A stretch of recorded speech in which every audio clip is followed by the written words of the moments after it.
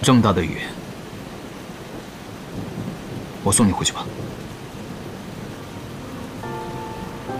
走吧。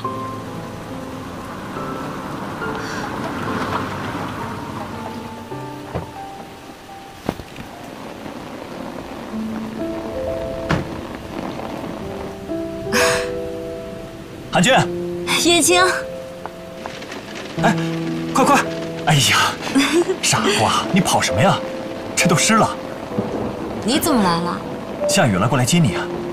傻瓜，淋雨了容易生病的。北辰，沈大哥，真是个好丈夫啊。北辰，这么晚了还没下班啊？都是我的不是。这样，明天十点。华庆饭店。好的，我一定会准时到。那副司令，我们就先走了。快回去吧。走了。嗯，走吧。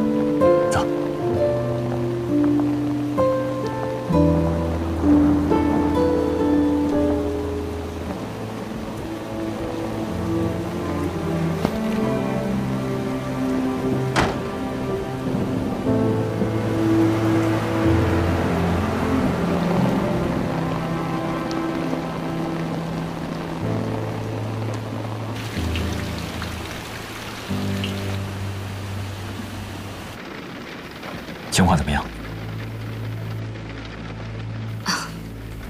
我打开保险柜了，里面并没有龚荣书，只有一些南京给他的信件，但是具体内容还没有时间看。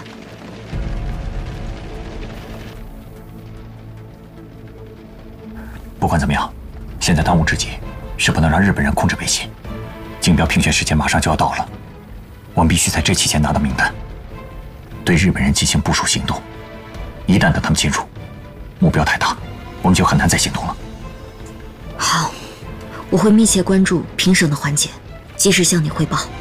好，明天我会让阿良出一个港口的专题，重新把港口的战略地位和公平竞争的重要性再提一下。我会把这个时间段全国各地关于日企罢工的情况做个深度的分析，从这方面给萧北辰施压。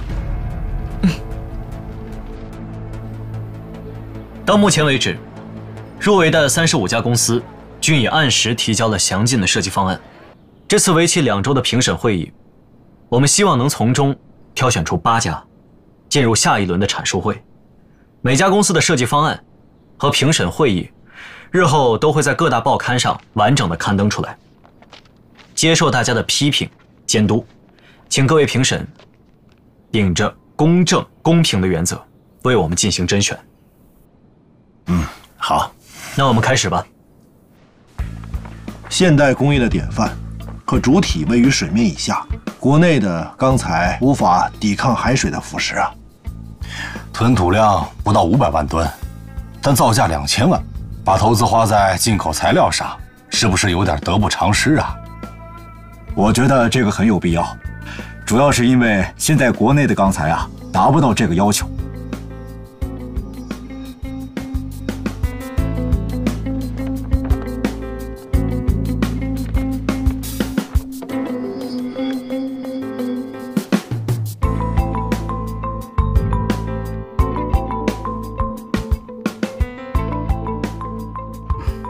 What do you think? That was excellent. Of course. 副司令，回家之后我会把今天的专家评审意见整理出来，作为参考。啊。对了，盛小姐，从今天开始，所有的评审环节都将是封闭式的。在这期间，吃、住都是在华兴饭店。为了避免消息泄露出去，期间不能回家。子君，你没跟盛小姐说过吗？不是三哥，你没怎么能没有说过？昨天晚上吃饭的时候说的，你是不是吃多忘记了？哦哦哦，我想起来了。呃，盛小姐，不好意思，是我个人的问题，工作失职，对不起。副司令。你之前答应过我说下班时间都是自由的，现在你可是限制了我的人身自由啊！盛小姐，为了公平起见，封闭式竞标也是临时决定的。现在外面那么多双眼睛盯着，包括沈大哥，时报记者每次都能拿到第一手的资料。我想盛小姐不会无视规则，让副司令为难吧？当然不会了。那就好。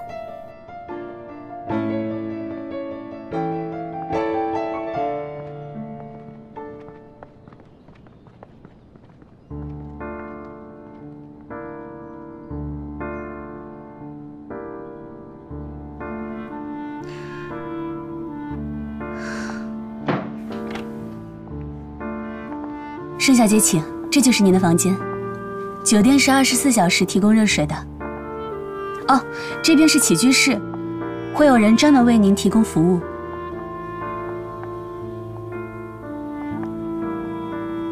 外面是中庭花园，由于安保的缘故，肖副司令吩咐酒店的窗户全都封死了。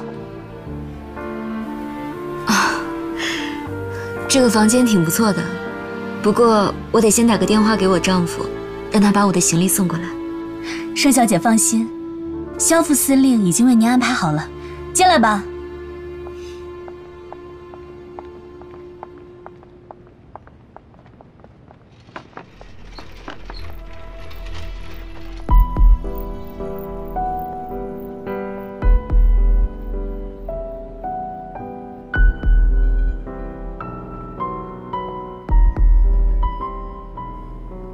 怎么样，盛小姐满意我的安排吗？副司令真是细心。我正打算去定制几件旗袍呢。好，这几件是从给我太太做定制的店里挑选的，颜色、款式都是按照她的喜好来的，能够让你满意，我很欣慰。不过我平时还是喜欢穿洋装，舒适自在一点。时间仓促，我临时准备了这些。不过我会把盛小姐的喜好全都记下来，让他们去准备。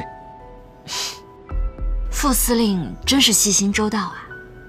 我这么做，只为了让盛小姐免去杂物，专心工作。还望在评审会期间，盛小姐将所有评审报告整理完毕交付于我。当然，也包括今日的。那看来我是恭敬不如从命了。不过副司令，再怎么样我也得打个电话给我的丈夫和孩子，跟他们说明一下情况吧。沈大哥那边我已经交代过了，他很理解，并且支持我们的封闭式评审流程。